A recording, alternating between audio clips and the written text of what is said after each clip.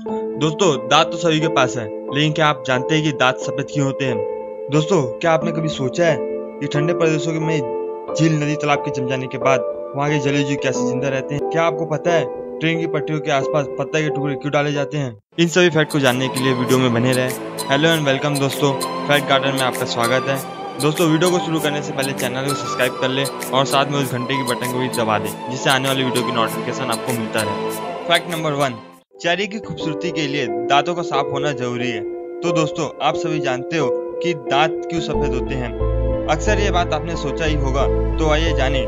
दरअसल, हमारे दांत कई परतों से मिलकर बने होते हैं। इनमें सबसे बाहरी परत दंत वलक या जिसे एनिमल भी बोलते हैं, जिसका मुख्य तत्व कैल्शियम होता है।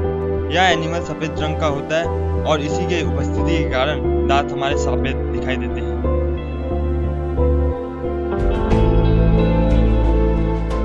फैक्ट नंबर दो ठंडे देशों में झील के जम जाने के बाद वहाँ के जलीय जीव कैसे रहते हैं? अक्सर आपने यहाँ सोचा ही होगा। इसमें कोई बड़ी बात नहीं है। दरअसल बात ऐसा है, बर्फ़ के बाहर का तापमान भले ही कितना भी कम हो, लेकिन अंदर आप जानकर हैरान रहेंगे कि बर्फ़ के नीचे का तापमान, यानी कि पानी का नीचे का तापमान चार से छह डिग्री तक ही रहता है। इसलिए नदी तालाब में बर्फ़ जम जाने के बाद वहाँ के जलीय जीव जंतु अपनी समान अवस्था में जीवन यापन करते हैं। फैक्ट नंबर तीन. ट्रेन की पटरियों के आसपास पत्थर के टुकड़े क्यों डाले जाते हैं? दरअसल ट्रेन बहुत ही तेज़ी से चलती है, और जब ट्रेन चलती है तो पटरियों में बहुत तेज़ी से कंपन होते रहते हैं। इसी वाइब्रेशन के कारण, पटरियाँ इधर उधर ना हिले। इसलिए पटरियों के आसपास पत्थर के टुकड़े डाले जाते हैं। यह पटरियों पर स्प्रिंग का काम करती है। जब पटरियों के ट्रेन से गुजरता है, तब ये नीचे की तरफ़ दब जाती है, और जब ट्रेन गुजर जाती है, तब अपनी जगह वापस आ जाती है। इन पत्थरों के टुकड़ों के वजह से एक फ़ायदा यह भी होता है, पटरियों के आसपास झाड़ी नहीं उगते। अगर पटरियों के आसपास इसकी जगह सीमेंट या कुछ और डाला जाए तो कंपन की वजह से जगह बन जाएगी और पटरियाँ इधर से उधर खिसक जाएगी। इसी के चलते ही पटरियों के आसपास पत्थर के टुकड़े डाले जाते हैं।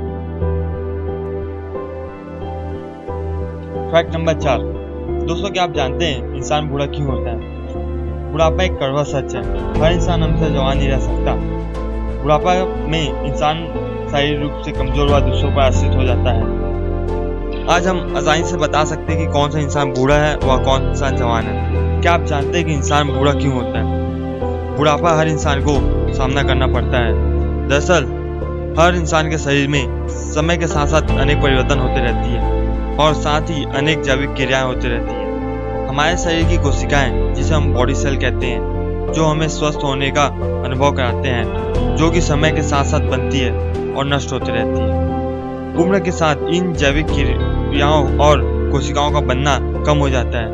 यही कारण है कि इंसान जल्दी जल्दी बुरा होता है। अधिक समय तक इन बॉडी सेल को जीवित और एक्टिव रखने के लिए हमें अपनी देखभाल करनी चाहिए। दोस्तों, स्वस्थ रहने के लिए डेली योग, व्यायाम मेडिटेशन करना चाहिए। तो दोस्तों, आज के लिए सिर्फ़ इतना ही। मिलते हैं अगले वीडियो में किसी नई मज़ेदार टॉपिक के साथ।